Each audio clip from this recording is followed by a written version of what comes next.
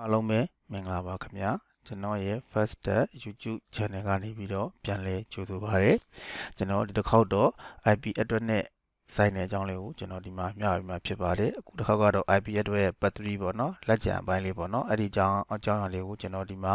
မျှဝေမှာဖြစ်ပါတယ်ဒီအပိုင်းကဘာလဲဆိုလို့ရှိရင်ကျွန်တော်ပေါ့နော် create subnet အာ subnet တွေကျွန်တော်ဘယ်လိုဖန်တီးလဲဆိုတဲ့အကြောင်းလေးပေါ့နော် subnet ဆိုတာတနည်းအားဖြင့်ကျွန်တော်တို့ရှင် network အသစ်ဖန်တီးရပါတော့အဲဒါကြောင့်ကျွန်တော်ကသူ့ကိုလည်း creative network လို့ပြောလို့ရပါတယ်အဲဒီအကြောင်းကိုကျွန်တော်ဒီမှာရှင်းပြဖြစ်ပါတယ်ကျွန်တော်ဒီအကြောင်းအရာကိုကျွန်တော်နော် method ပေါ့နော်1 2 3ပေါ့နော်အဲဒီ method 3ခုနဲ့ကျွန်တော်သူ့ကိုဘယ်လိုဖန်တီးရလဲဆိုတဲ့အကြောင်းကိုကျွန်တော်ဒီမှာရှင်းပြဖြစ်ပါတယ်အခုတစ်ခေါက်ဒီကတော့ကျွန်တော်ဒီကတော့ပထမဆုံး method ပေါ့နော်ပထမ method မှာကျွန်တော်ဘာဘယ်လိုရှင်းပြမလဲဆိုတော့ကျွန်တော်ဒီမှာပေါ့နော်ဒီဘက်ကကျတော့ဒီ example ပေါ့နော်ဒီကောင်ကိုကျွန်တော်စပြီးတော့ create ဆက်လုပ်တဲ့အခါမှာကျွန်တော်ကဒီ class C ပေါ့နော် class C ရဲ့ IP address ရဲ့ class C ရဲ့ဆက်နံပါတ်ကိုမူတည်ပြီးတော့ကျွန်တော်ကဒီမှာသူဥမာနေနဲ့လုပ်ရမှာဖြစ်ပါတယ်ဒီကျွန်တော်ဒီပြောတဲ့ကျွန်တော် class ABC ဒါတွေဘယ်လိုခွဲတယ်ဆိုတာလေးကိုကျွန်တော်ရှေ့မှာဗီဒီယိုဟို1မှာဟို2မှာကျွန်တော်သင်ပြခဲ့ဖြစ်ပါတယ်တကယ်လို့ကျွန်တော်ဒီ class ABC ဒါကိုနားမလည်လို့ရှိရင်ကျွန်တော်ရှေ့မှာရှိတဲ့ဗီဒီယိုတင်းနဲ့နှစ်ကိုတွားပြီးတော့ကြည့်လို့ရပါတယ်အခုဒီမှာတော့ကျွန်တော်ကတော့ဒီ class ABC အကြောင်းကိုမပြောတော့ပါဘူးကျွန်တော်ဒီမှာဒီဒီ class C ပေါ့နော် class C ကိုမူတည်ပြီးတော့ဒီ class C ပါပဲကျွန်တော်နောက်ထပ်ပေါ့နော် network အသစ်ပေါ့နော်ပြောမှဆိုရင် creative subnet ပေါ့နော် subnet အသစ်ကျွန်တော်ဘယ်လိုဖန်တီးမလဲဆိုတဲ့အကြောင်းလေးကိုကျွန်တော်ဒီမှာရှင်းပြမှာဖြစ်ပါတယ်ဒီဘက်ကဟာကျွန်တော်ဒီ class C IP address ရဲ့နမူနာပုံစံပေါ့နော်ဒါသူရဲ့ပေးထားတာပေါ့နော်ဒီမှာ question ကဗာမိထားလဲဆိုလို့ရှိရင်ပေါ့နော်ဒီဒီဒီ IP address ကိုဒီ IP address နဲ့ဒီ subnet number ကိုကြည့်ပြီးကျွန်တော်တို့ကသူဘာလုပ်ရမလဲဆိုလို့ရှိရင် need to create 7 subnet ဒါမှမဟုတ်7 network ပေါ့နော်အကောင်ဖန်တီးရမယ်ပေါ့နော်အဲဒါဆိုရင်ပထမ subnet ကဘာလဲဆိုလို့ရှိရင် administration ပေါ့နော် admin တွေအတွက်ပေါ့နော် account အတွက်ကျွန်တော်တခုဖန်တီးရမယ်အဲ့မှာဆိုရင်ကျွန်တော် blog blog host လို့ရဆိုရင်26 host လို့မယ်အဲ့ဒါဒီ first sum first sum number အတွက်ဒုတိယ sum number ကဘာလဲဆိုရင် engineering အတွက်အဲ့ဒါတွေဒီ20 host လို့မယ် third sum number ကကျတော့ manufacturing အတွက်သူဒီ15 host လို့မယ်နောက်တစ်ခု phone နဲ့ file sum နဲ့ဒီ visa ပေါ့နော်သူ visa တက်လို့မယ် student saving ဒီ keep for future ပေါ့နော်အနာကတော့ကျွန်တော်တို့ဒီသူတင်ထားရပါတော့အဲ့ဆိုကျွန်တော်ဒီ total ခုနှစ်ခုလို့ရပါတော့7 sum number အဲ့ဆိုရင်ဒီ total 7 sum number ကိုကျွန်တော်ကဒီအဲပြီးတော့ကနေကျွန်တော်ဘယ်လိုခွဲမလဲဘယ်လိုယူမလဲပေါ့နော်ဘယ်လိုဖန်တီးမလဲဆိုတော့ရှင်တော့ကျွန်တော်ကပေါ့နော်ဒီဒီလိုမျိုးအဲ့လို7 number ယူတဲ့အခါမှာဆိုလို့ရှိရင်ကျွန်တော်ကဒီရှေ့က network အပိုင်းပေါ့နော် network portion ကျွန်တော်ကကျတော့ပြရတော့ကျွန်တော်သူ့ကိုကျွန်တော်ကဒီနောက်က host portion ပေါ့နော်0ကနေပြီးကျွန်တော်ကသူ့ကိုသွားပြီးတော့ပြောမှသွားပြီးချီရတာပေါ့နော်သူ့ကိုသွားပြီးချီတဲ့အခါမှာဘယ်လိုချီရလဲဆိုလို့ရှိရင်ဥမာပေါ့နော်ဒီသူ့ရဲ့ဒီဒါဒီ7 number က ဒီ decimal ပေါ့နော်အဲ့ကောင်ကျွန်တော်ဗန်နီပြောင်းတဲ့အခါမှာဆိုလို့ရှိရင်1က24ဝင်နောက်က38လုံးရှိရပေါ့နော်အဲ့ဒီရှေ့က1 24ဝင်ကျွန်တော်တို့ဒီ network portion အတွက်ပေါ့နော်ဒီနောက်ကဟာဒီ hot portion တော့ကျွန်တော်ကဒီ create subnet လုပ်တဲ့အခါမှာဆိုလို့ရှိရင်ဒီနောက်က hot portion နဲ့ကျွန်တော်တို့ကသွားချရတယ်သွားချရတဲ့အခါမှာဆိုလို့ရှိရင်ဒီ3ညဘယ်နှလုံးရှင်းလုံးရှိတဲ့ကြောင့်ဒီကောင်ဒီဗန်နီဖြစ်တဲ့ကြောင့်2 to the power 1 2 3 4 5 6 7 8ပေါ့နော်အဲ့လိုမျိုးအဲ့လိုမျိုးရှင်းလုံးရှိရှင်းလုံးရှိတဲ့အခါမှာကျွန်တော်တို့ကသူ့ကို ချီးတဲ့အခါမှာတော့ဒီဒီဒီမှာ formula တစ်ခုရှိပါတော့ဒီ formula ဘာလဲဆိုလို့ရှိရင် to the power n ပေါ့နော် to the power n ပြီးလို့ရှိရင်အဲ့ဒါဒီ greater than ဘာလို့ဆိုရင် number of not on ဒီကိုလိုချင်တဲ့ network အခုဒီမှာ sum number ကခုနှစ်ခုပေါ့နော်ကျွန်တော်တို့ဒီချီးရတဲ့ ဟိုပြောမှဆိုရင် sum number ဒီကျွန်တော်လိုချင်တဲ့ဒီ sum number ထက်ဟို greater than တော့ equal ပေါ့နော်ပြောမှဆိုရင်ကြီးရမယ်ဒါမှမဟုတ်ရှင်ညီရမယ်ပေါ့နော်သူတို့ငယ်လို့ရှင်တော့ကျွန်တော်တို့ကမလောက်တဲ့အတွက်ကြောင့်သူ့ကိုယူလို့မရဘူးပေါ့နော်ဒီချိန်မှာ n ကဘာပဲလို့ရှင် n ကျတော့ number of bit ပေါ့နော်ပြီးဆိုတော့ဒီမှာဘယ်နှခုရှိရဆိုတော့ရှစ်လုံးရှိရပေါ့နော်အဲ့ထက်ကျွန်တော်တို့ကသူ့ကိုဘယ်နှခုစချင်ကျွန်တော်တို့ကဒီရှစ်ကနေပြီးတော့စပြီးတော့သူ့ကိုချိမယ်ပေါ့နော်ဟိုဒီသူ့ကိုတစ်ခါချိတိုင်းသူ့ကိုကျွန်တော်တို့ဒီချိလို့ရှင်ကျွန်တော်တို့ကသူ့ကိုပြန်ပြီးပြရတယ်ပေါ့နော် gaping date ဆိုတဲ့စကားရကျွန်တော်တို့ဒီသူ့ကိုကျွန်တော်တို့ဒီဒီ network တေဝပေါ့နော်ဒီ sum number ပေါ့နော်ဟို bit ချိတဲ့ခါမှာသူ့ကိုကျွန်တော်တို့ဒီနှလုံးနှလုံးပြန်ပေးရတယ်ပေါ့နော်အဲ့ဆိုကျွန်တော်တို့တခုပထမဆုံးအနေနဲ့ကျွန်တော်တို့ဒီပထမဆုံး network 2 to the power 1ပေါ့နော်1ဆိုလို့ရှိရင်အင်ဒီယာမှာ1ဖြစ်တဲ့ကြောင့်2 to the power 1ဒီနှစ်ဖြစ်တယ်ပေါ့နော်နှစ်ဒီကျွန်တော်တို့လိုချင်တာ9ပေါ့နော်9ထက်ကြီးတယ်ဆိုတော့မကြီးဘူးညီလဲမညီဘူးအဲဒါကြောင့်ကျွန်တော်တို့ဒီသူဒီကျွန်တော်တို့ဒီအဲ့ network ကျွန်တော်တို့ဒီကြီးလို့မရပါဘူးကျွန်တော်လိုချင်တာ9သူကနှစ်ပဲပြန်တယ်ကြောင့်ထပ်ပြီးတော့တစ်ခါနှစ်ဒီတစ်လုံးနဲ့မလောက်တဲ့အတွက်ကျွန်တော်ကတစ်လုံးထပ်ချီရမှာထပ်ချီတဲ့အခါမှာ နှစ်ကျင်ဖြစ်တဲ့ကြောင့်2 to the power 2 2 to the power 2ကိုပြန်လာတဲ့ခါမှာ4 4ရတယ်ပေါ့နော်4ကလည်း9လောက်ဆိုတော့မလောက်သေးတဲ့ကြောင့်ထပ်ချိတဲ့ခါမှာ2 to the power 3ပေါ့နော်2 to the power 3ချိတဲ့ခါမှာ8ဖြစ်သွားတယ်8ဖြစ်တဲ့ခါမှာ greater than 7ဆိုတော့ကျွန်တော်လိုချင်တာဒီ7 7 network ဆိုတဲ့ကြောင့်8ဆိုတော့ကျွန်တော်တို့ဒီသူ့ကိုလုံးလုံးပါပြီပေါ့နော်ဒါပေမဲ့တစ်ခါနောက်တစ်ခါထပ်ကြည့်ရ2 to the power 4ပေါ့နော်4ဆို16ဒါဆိုလည်းလောက်တာပဲလीဒါပေမဲ့သူဒီ9ဆို16ကိုကျွန်တော်ယူလို့မရဘူးလားဒါမှမဟုတ်39ကိုယူလို့မရဘူးလားဆိုတော့ယူလို့ရပါတယ်ဒါပေမဲ့သူကဘာလို့လဲဆိုလို့ချင်းသူက26 hold တို့သူက20 hold 50 hold ဆိုတော့ထည့်ထားတဲ့အတွက်ကျွန်တော်တို့ဒီသူ့တပါဝါတကယ်လို့မျိုးတော့4 16ရလို့ရှိရင်နောက်ထပ်ဒီမှာကျွန်တော်ကလေးလုံးချိကျွန်တော်ကဟိုမှာလေးလုံးကကျွန်တော်လေးလုံးကိုကျွန်တော်ထိုင်ပြတဲ့ခါမှာလဲ16ပြန်တယ်ပေါ့16ကျွန်တော်16 host ပေါ့ကျွန်တော်ကျွန်တော်ဒီ host အကြီးတွေကမလောက်တော့ဘူးပေါ့နော်လောက်တဲ့တော့ကျွန်တော်တို့ဒီ ဒီ2 to the power 3ဆိုတဲ့ဒီ8ပေါ့နော်8ကလည်းကျွန်တော်တို့လုံလောက်နေပြီတိတ်လည်းမပိုးပေါ့နော်တကယ်လို့ပိုးလို့ရှိရင်တခြား network တွေကသုံးမှမသုံးတာနော်အဲ့ဒါတွေလည်းလကားဆိုတဲ့ဖြစ်မှာရဲ့ပြီးရင်သူနောက်တစ်ခုထင်လာတာကကျတော့မေကုမာတဲ့ဟိုဒီမှာ26 host ယူမယ်ဆိုတာပါပြီးတော့ကျွန်တော်တို့ဒီကိုလိုအပ်တဲ့ပေါ့နော်နောက်ဘအရှိအတွက်သူ့မှာသူ့လုံလောက်လုံလောက်အတွက်ပေးဖို့အတွက် host ပေါ့နော်အဲ့အဲ့ပေါ်မူတည်ပြီးကြောင်းသူကျွန်တော်တို့ဒီကောင်ယူရတာပေါ့နော်ကျွန်တော်တို့ဒီသူ့ power 3 4 5ကိုကျွန်တော်ချင်း network ယူလို့ရပါမယ်လေသူကဒီမှာ host နဲ့ ထိထားတယ်ကျွန်တော်တို့ဒီအဲ့တော့သူ့ power 4ရလို့ရှိရင်ဒီမှာလေးလုံးဖြစ်တဲ့ကျွန်တော်မှလည်းလေးလုံးကျွန်တော်လေးလုံးဆိုရင်16ပေါ့နော်အဲဆိုရင် host area ကမလောက်တဲ့ကြောင့်ဒီကောင်ကိုကျွန်တော်ယူလို့မရဘူးเนาะအဲကျွန်တော်တို့ဒီ2 the power 3ဖြစ်တဲ့သူ့ကိုကျွန်တော်တို့ဒီ1 2 3ပေါ့ရှေ့က3လုံးကိုကျွန်တော်ကချိလိုက်ပါတော့ချိတဲ့အခါမှာနောက်မှာ9လုံးကျန်တယ်9လုံးကျန်တဲ့ကြောင့်2 the power 5 2 the power 5လို့ရှိရင်ကျွန်တော်တို့ဒီ2 the power 5ကို decimal ပေါင်းတဲ့အခါမှာလို့ရှိရင်32 bit ရတယ်ပေါ့နော်အဲဆိုရင်ကျွန်တော်လိုချင်တာက26ဆိုတော့32 bit ကလောက်တယ်ပေါ့နော်ဒါပေမဲ့ကျွန်တော်ခုနပြောခဲ့သလိုပေါ့နော်32 bit ယူတဲ့အခါမှာဆိုရင်သူ့ကိုကျွန်တော်ကတော့ bit အဲနောက်အဲ့ပေါ့နော်အဲနှစ်ခုပြန်ပြန်နှုတ်ပြရတာမှာအဲ့ဆိုရင်32ရနေပြီးတော့နှစ်ကိုပြန်တဲ့အခါမှာ30ပေါ့နော်30 host host ကျန်တယ်ပေါ့နော်အဲ့ဒီနှုတ်လိုက်တဲ့အရေးတော့ကဘာလဲဆိုကျွန်တော်က first IP နဲ့ last IP ကိုပြောတာပေါ့နော်အဲ့ first IP နဲ့ last IP ကျွန်တော်တို့ဒီကိုကျွန်တော်ကချန်မိထားတယ်ပေါ့နော်အဲ့ဆိုကျွန်တော်ပေါ့နော်အဲ့30 host ရမယ်ပေါ့နော်30 host ရမယ်အဲ့ဆိုလို့ကျွန်တော်တို့သူ့ကိုဘယ်လိုဘယ်လိုတွက်လဲဆိုလို့ရှိရင်ကျွန်တော်ကသူ့ကိုသုံးလုံးချိမယ်ဆိုလို့ရှိရင်ဒီဘက်ကပေါ့နော်ဒီဘက်ကဇရာလေးနှစ်ခုပေါ့နော်အဲ့ကျွန်တော်တို့ဒီအဲဒီတက်ပုံတန်လေးလေးကိုကျွန်တော်တို့ဒီမှာတစ်ချက်ချိမယ်ပေါ့နော် အာဘယ်လိုတွက်လဲဆိုလို့ရှင်တော့ပေါ့နော်ပထမ animation ပေါ့နော်26ခုပေါ့နော်26ခုဖြစ်တဲ့ကျွန်တော်တို့ဒီသူ့ကို first sub number address တွက်တဲ့အခါမှာသူရဲ့ဒီ network IP ကိုကျွန်တော်ရေးလိုက်မှာပေါ့နော် network I know sorry တွက်တဲ့အခါမှာဆိုရင်ပထမဒီ IP address ပေါ့နော် IP address က192.168.10နောက်က3ညချက်ကတော့3ညရှင်းလုံးပေါ့နော်ရှင်းလုံးခွဲလိုက်တဲ့အခါမှာကျွန်တော်ဒီနောက်ကသူ့ကိုကျွန်တော်ကဒီမှာ3လုံးချီးမယ်ဆိုတော့ကျွန်တော်ကရှေ့ကို3လုံးလေးခွဲလိုက်တယ်နောက်ကကျန်တာဟိုပိုရှင်ဘာကြောင့်ဒီ27ဖြစ်သွားလဲဆိုလို့ရှိရင်တော့ဟိုကသူ့ကိုတစ်3လုံးချီးမှာပေါ့နော်အဲတစ်3လုံးချီးမယ်ဆိုတဲ့အတွက်ကြောင့်ကျွန်တော်တို့ဒီတစ်ဒီ 24လုံးဖြစ်တယ်เนาะ3ထပ်ပေါင်းတစ်ချက်မှာ20ကွန်ဖြစ်သွားတဲ့ကြောင့်သူဒီ class 24မဟုတ်ဘဲနဲ့ဒီပေါ့နော်27ကိုသူဒီပြောင်းမလိုက်မယ်။နောက်ပြီးတဲ့အခါကျွန်တော်ဒီသူ့ရဲ့ဒီကောင်က first IP address ပေါ့နော်အဲအကောင်ဒီကောင်ဒီ decimal ပေါ့ဘာ sorry binary ပေါ့နော်ဒီ binary ကျွန်တော်တို့ဒီ decimal ပြောင်းတဲ့အခါမှာ192.168.10.0 /27 ဒါဆိုကျွန်တော်0ကစတယ်ပေါ့နော်စပြီးလို့ရှိရင်နောက်က last IP အတွက်ကဘာကြလဲဆိုလို့ရှိရင်ဒီနောက်ကဒီ host ပေါ့နော် host အပြည့်ပေါ့နော် host အပြည့်တစ်ငါးလုံးပေါ့နော်အဲ့ဒါဒီကျွန်တော်ဒီ last IP address အဲ့တော့ကျွန်တော်ဒီ last IP address ဒီဒီတစ်ဒီငါးလုံးကျွန်တော်တို့ဒီ binary ဒီ binary ကို decimal ပြောင်းတဲ့အခါမှာဆိုလို့ရှိရင်ဒီ dot 31ရတယ်ပေါ့နော်အဲ့တော့ကျွန်တော်တို့ဒီမှာ calculator မှာကျွန်တော်တစ်ချက်တွက်ပြမယ်နော် calculator မှာကျွန်တော်တို့ program မှာဒီ သူ့ရဲ့ဒီပေါ့နော် binary ဖြစ်တဲ့000 1111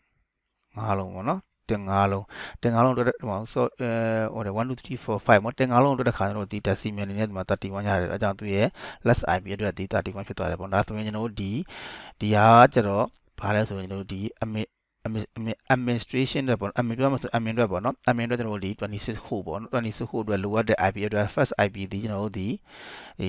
0ကစပြီးသူ less IP 31မှာဆုံးတယ်ခုနကသူလိုတဲ့ host တွေအတွက်ဒီ30 32လို့ပြောရမှာနော်အဲဆို0 to 31ဒီ 32ဖြစ်တယ်ဒါပေမဲ့သူ့ကို minus 2နှုတ်တဲ့အခါမှာ30ကျန်တယ်အဲဒါကြောင့်ကျွန်တော်တို့ဒီ0ကနေ31ဖြစ်တဲ့ဖြစ်မဲ့လေကျွန်တော်တို့ဒီ0ရဲ့31ကိုကျွန်တော်တို့သုံးလို့မရဘဲနဲ့1ကနေ30ထိသူ့ရဲ့ IP ကျွန်တော်တို့သုံးလို့ရတယ်ပေါ့နော် first IP နဲ့ last IP သုံးလို့မရဒါဒီကျွန်တော်တို့ပထမဟို sub number funny တာပေါ့နော်ပထမဒီ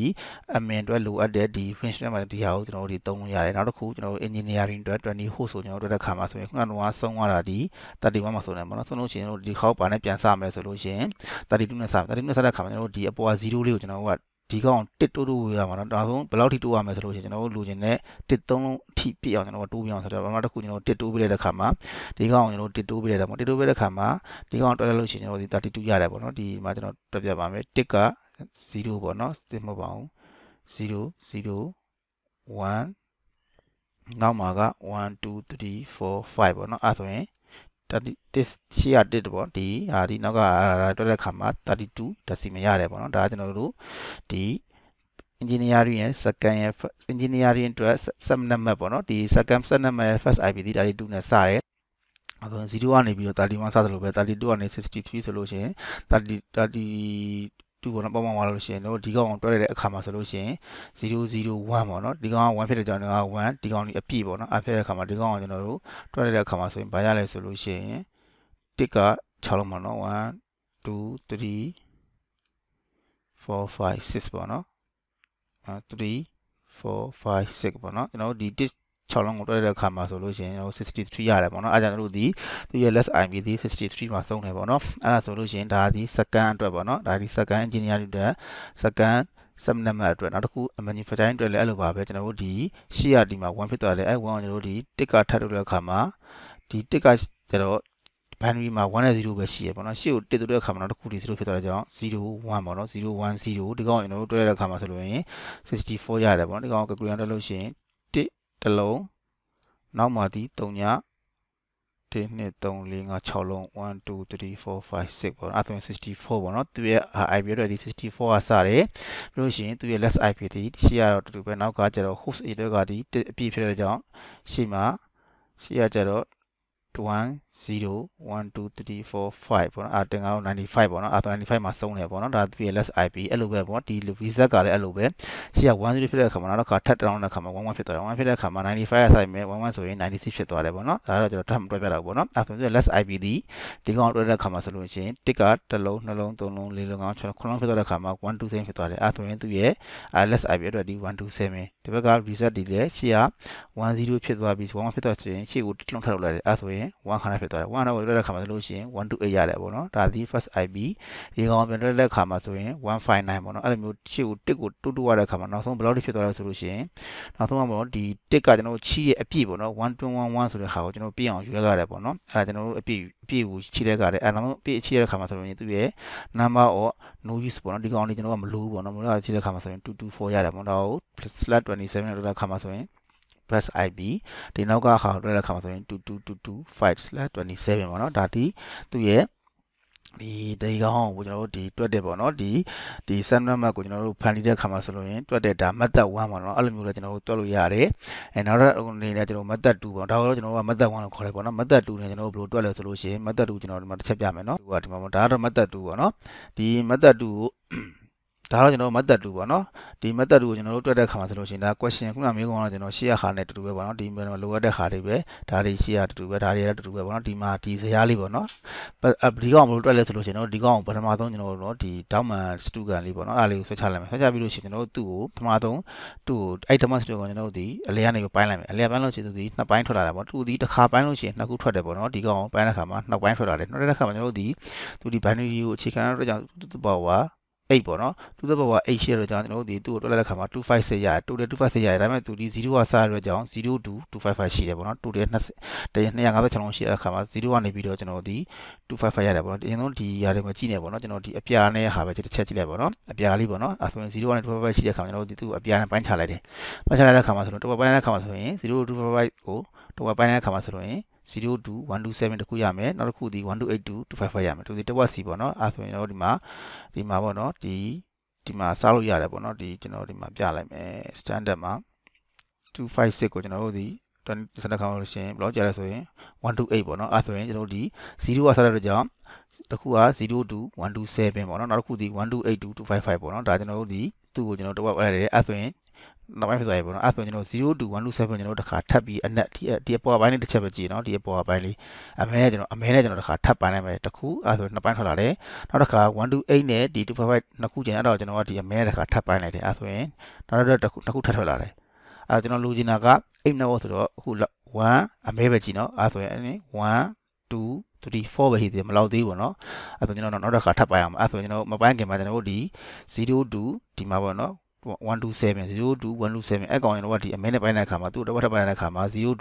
63 64 to 27ပေါ့နော်အဲ့ဒါဒီသူဒီတစ်ခါထပ်ရတယ်နောက်တစ်ခါကျွန်တော်တို့1282 255ကိုအမဲနဲ့ပိုင်းတဲ့အခါမှာတစ်ဝက်ကသူ့ရဲ့တစ်ဝက်က1282 191နောက်တစ်ခုဒီ1922 255ပေါ့နော်အဲ့ဒါကိုရတယ်ပေါ့အဲ့ဒါကျွန်တော်ဒီ calculator တက်လို့ရတယ်ပေါ့နော်ကျွန်တော်ဒီမှာခုနဟာဝက်တူပဲပေါ့နော်ဒီ127ပေါ့နော်127 127ကိုကျွန်တော်နှစ်နဲ့စားတဲ့အခါမှာ 63.5ဘယ်တော့128လုံးရှိရ sorry ဒီမှာတော့128ကိုစားရမှာ sorry 128ပေါ့နော်128ကိုကျွန်တော်တို့ကနည်းနည်းစားတဲ့အခါမှာ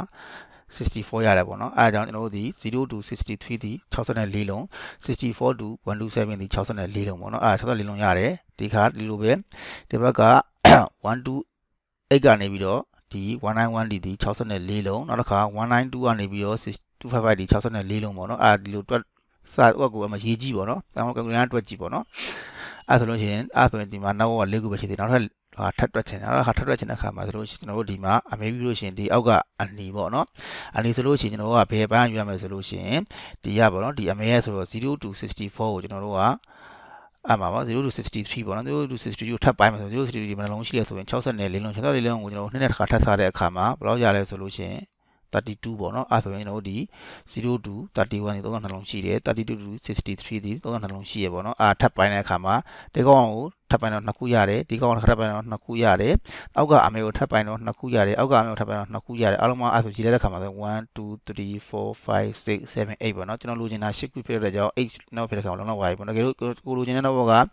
10လို့ဘာဖြစ်လို့ရှိရင်ဒီကောင်တစ်ခါထပ်ပိုင်းပေါ့နော်ဒီကောင်တစ်ခါထပ်ပိုင်းတစ်ခါအဲ့လိုတက်ရတယ်ပေါ့နော်ကိုလိုချင်တဲ့ဟာကိုမူတည်ပြီးတော့ကျွန်တော်တို့ဒီတူတော်တော်ဝါတာပေါ့နော်ဒါဒီ IP address ကတော့ကျွန်တော်ရှင်းမှရှင်းမှခဲ့လို့ပဲပေါ့နော်ဒီမှာရှေ့ကကျတော့ကျွန်တော်တို့ဒီမှာပေါ့နော်ဒီ binary နဲ့ကျွန်တော်ကပြန်ပြောင်းပြီးတဲ့အခါမှာလိုပြောင်းတဲ့အခါမှာဒါလေးကတော့နည်းနည်းရှုပ်တယ်ပေါ့နော်ဒီ method 2ကတော့နည်းလွယ်မယ်ထင်တယ်အဲဆိုရင်ကျွန်တော်တို့ဒီမှာ02 31ဖြစ်ရတဲ့ကြောင့် first IP သည်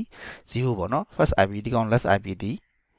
31ပေါ့နော်ဒါဆိုရင်ကျွန်တော်တို့ဒီ first IP နဲ့0 less IP ကိုသုံးလို့မရတော့ကြောင့်ဒီရဲ့ channel မှာဖြစ်တဲ့1 to 30ကိုသုံးလို့ရမယ်ဒီမှာဆိုရင်လည်း33 to 62ဒီသူသုံးလို့ရမယ် network IP address ပေါ့နော်ဒီမှာဆိုရင်လည်း63 to 94ဒါတွေသုံးလို့ရတယ်ဒီနောက်ကဒီ reset ပေါ့နော်ဒီ reset တွေကျွန်တော်ရှင်ရင်လည်းကျွန်တော်တို့ဒီ95 to 126တို့နော်အဲ first IP နဲ့ less IP ကျွန်တော်တို့သုံးလို့မရဘူးအဲတစ်ခုတစ်ခုပေါ့သိထားသင့်ပါတယ် အဲဆိုရင်ဒီကတော့ကျွန်တော်တွက်ပြတော့ပေါ့နော်ဒီဟာဆိုရင်0 to 31ပေါ့နော်ဒီဟာဆိုရင်32ပေါ့နော်ဒါကြည့်လို့ရှိရင်63ပေါ့နော်နောက်က click ကကျတော့ကျွန်တော်တို့ဒီတစ်ကကျွန်တော်တို့ဒီခုနက3လုံးအပြည့်ချီးတဲ့အတွက်ကြောင့်ကျွန်တော်တို့ဒီမှာ3လုံးချီးရပေါ့နော်အဲဒီတော့3လုံးချီးရတဲ့အတွက်ကြောင့်ကျွန်တော်တို့ဒီဘာဖြစ်သွားလဲဆိုလို့ရှိရင်ဒီ3ကိုဒီမှာတစ်ကိုပြည့်ဖြစ်တယ်ပြည့်ဖြစ်တဲ့ခါမှာသူ့ရဲ့ ဒီ sub number ဒီဒီမှာဆိုဖြစ်သွားမယ်ဆိုရင်255.255.255.224ဆိုပြီးတော့ဖြစ်သွားတယ်ပေါ့နော်ဒီ class 27ကိုကျွန်တော်တို့ဒီ tick 28လုံးပေါ့ tick 28လုံးကိုဒီ binary ပြောင်းတဲ့အခါမှာဆိုရင်နောက်က111000 5လုံးဒီပြောင်းတဲ့အခါမှာ224ရတယ်ပေါ့နော်အဲဆိုရင်ဘာလဲဆိုကျွန်တော်တို့ဒီဒီရဲ့သူရဲ့ sub number ဒီဒါမဟုတ်တော့ဘူးပေါ့နော်ဒီ number ဖက်နဲ့ဒီကောင်းမှာသူရဲ့ network first IP address ဒီ data ဖြစ်ပြီးတော့သူ့ရဲ့နောက်ဆုံး sub number ဒီ255.255.244ဖြစ်သွားပါတယ်ဒါကတော့ကျွန်တော်တို့ဒီ query set number ကိုဖန်တီးတဲ့ဒါ method 2ပေါ့နော်ဒါကတော့ method 2ဒီ method 1နဲ့ method 2ကိုကျွန်တော်ဘာကြောင့်ရှင်းပြလဲဆိုလို့ရှိရင်ဒီကောင်ဘယ်လိုပေါ့နော်ဘယ်လိုခွဲပြီးဘယ်လိုမျိုးခွဲရလဲဆိုတာလေးကိုသိသိချင်းတော့ကျွန်တော်ရှင်းပြတာပေါ့နော်ဒါတော့ကိုအားတန်ရနဲ့ကိုတွက်ပေါ့နော်ဒါမှမဟုတ်ကျွန်တော်ကဒီ method 1ရဲ့ဒီ method 1ရဲ့ဒီ method 2ကိုမတွက်ချင်လို့ရှိရင်ကျွန်တော်တို့ဒီဒီမှာပေါ့နော်ကျွန်တော်တို့ဒီ Google မှာကျွန်တော်တို့ဒီသူ့ကို query set number တွေကိုကျွန်တော်တို့ကဟိုလိုမျိုးပေါ့နော် တွက်တဲ့ calculator ရှိရပေါ့နော်အဲ့ဒါဘာလဲဆိုလို့ရှိရင် BSM ဆိုတဲ့ calculator လေးပေါ့နော်အဲ့လို့ရှိရင်ကျွန်တော်တို့ပေါ့နော်ဒီစရာပေါ့နော်ရလာခါကျွန်တော်တို့ရှိရင်ဒီမှာကိုလိုချင်တဲ့သူရခုနကကျွန်တော်တို့ဒီမှာရှိတဲ့ IP အတွက်သူပေးတဲ့ဓာတ်လေးပေါ့နော်အဲဆိုရင်အပေါ်ဆုံးမှာဘယ်ထဲမှာဆိုရင်192.168.10.10ကျွန်တော်တို့ဒီမှာအဲထည့်လိုက်မယ်ပေါ့နော်သူရဲ့အဲ class ဒီဘယ်လောက်လဲဆိုတော့ဒီဟာပေါ့နော်20 major network ကဒါပေါ့နော်ကျွန်တော်ဒီရဲ့ major network ဒီဒီဟာလေးပေါ့နော်24ပေါ့နော် class ဒီဟာအဖြစ်မယ်ပြီးလို့ရှိရင်ကျွန်တော်တို့ဒီ first IP ကျွန်တော်တို့ဒီ admin အတွက်ဒီ second ဒီဟိုပါပေါ့နော် engineering အတွက် third ဒီ manufacturing အတွက်ကျွန်တော်ဒါကကျွန်တော်ကြိုရေးထားတာပေါ့နော်အဲကျွန်တော်ကရေးထားတာရှိတော့ကြောင့်ဒါဒီအဲ future ပေါ့နော်ကျွန်တော်လိုချင်တာကဒီမှာကဘယ်နှခုလဲဆိုတော့၈ခုပေါ့နော်အဲဆို chain ပေါ့နော်အဲနောက်တစ်နှစ်ခုဒီ future ဒါဒီကျွန်တော်တို့ဒီမသုံးပေါ့နော်ဒါဆိုကျွန်တော်တို့ဒီမှာ ဒီမှာကျွန်တော်ကစာရေးလိုက်မယ်မသုံးတဲ့ဟာဆိုရင် no use ပေါ့မထည့်မထည့်လိုက်ရတာပေါ့နော်အဲ့ဆိုကျွန်တော်ကဒီမှာ site ပေါ့နော် site ကဘယ်လောက်လဲဆိုကျွန်တော်ခုနကတော့ဒီ site ကိုထွက်တဲ့အခါမှာဘာအတွက်ကလဲဆိုလို့ကျွန်တော်တို့ဒီနောက်က host အတွက်ကိုကြည့်ရတာပေါ့နော် host အတွက်ကကျွန်တော်တို့ဒီမှာ3လုံးရွေးတဲ့အတွက်ကြောင့်နောက်တော့က9လုံးပဲကျွန်တော်လေ9လုံးဖြစ်တဲ့ကြောင့်32ပေါ့နော်32ဖြစ်ပေမဲ့လည်းကျွန်တော်ဒီကျွန်တော်ခုနကပြောသလိုပေါ့နော်အများနဲ့နှစ်ကိုပြန်ပြန်ပေးရတယ်ဘယ်ပဲယူအဲ့ဒါကြောင့်ကျွန်တော်တို့ဒီ minus 2ထွန်းတဲ့ခါမှာ30ကျန်တယ်တကယ်လို့ကိုကကျွန်တော်တို့က32မဟုတ်ဘဲနဲ့64ကျန်လို့ရှိရင်လည်း minus 2လို့ရှိရင်62ကျန်တယ်ပေါ့နော်အဲ့ဒါဆို32ဖြစ်တဲ့ကြောင့်32ကနေပြီးတော့ minus 2ကိုနှုတ်တဲ့အခါမှာ 30ကျန်တယ်မှာအဲဒါကြောင့်ဒီ site ကိုမှာ30လို့ထည့်ပြရတာမှာဒါတွေအကုန်လုံးဒီ30ပေါ့နော်30 30ပေါ့နော်အဲ့ဆိုရင်ကျွန်တော်တို့ဒီမှာအဲ့ချိန်မှာဒါဆိုပဲလောက်လိုက်ပြီးလို့ရှိရင်ကျွန်တော်တို့ကဒီချိန်မှာဒီက site ကျွန်တော်ဆော့ပေါ့နော်ဒီမှာချိန်ဒါပေါ့နော်ဒါကတော့ကျွန်တော်တို့ဒီ calculator နဲ့တွက်တာပေါ့နော်အဲ engine ဟိုကနေပြီးတော့ဟိုပါ internet ကနေအဲ့ဆိုကျွန်တော်တို့ဒီမှာပေါ့နော် submit လုပ်လိုက်မယ်လုပ်တဲ့ခါမှာတောင်းဆောင်အဲ့ဆိုဒီမှာတော့တစ်ခါတန်းထွက်လာတာပေါ့နော်အဲ့ဆိုကျွန်တော်တို့ခုနလိုမျိုးပေါ့နော်လူမျိုးတွေ လိုမျိုးတွက်ဆိုင်မလို့ဒါပေမဲ့ကျွန်တော်ကဘာကြောင့်ဒီဒီ method 1နဲ့ method 2ကိုပြောလို့ရှိရင်ကျွန်တော်တို့ပေါ့နော်အဲ့လို site တွေပါသွားတဲ့အခါမှာကျွန်တော်တို့ line internet line မမိတာတို့ဘာလို့ညာလို့ရှိလို့ရှိရင်ကျွန်တော်တို့အဲ့ကြလို့ရှိရင် internet ဒီဟာပေါ့နော် internet line မိတဲ့ခါလို့ရှိရင်ဒီလိုမျိုးတွက်လို့မရဘူးပေါ့နော်တွက်လို့မရတဲ့အခါမှာဒီ method လေးတွေတည်ထားတယ်လို့ရှိရင်ကိုယ့်ဘက်ကိုဘောပင်နဲ့ချပြီးတော့တွက်လို့ရတယ်ဆိုတော့အကြောင်းလို့ကျွန်တော်ကတည်တည်ကျွန်တော်ကျွန်တော်ကဒီ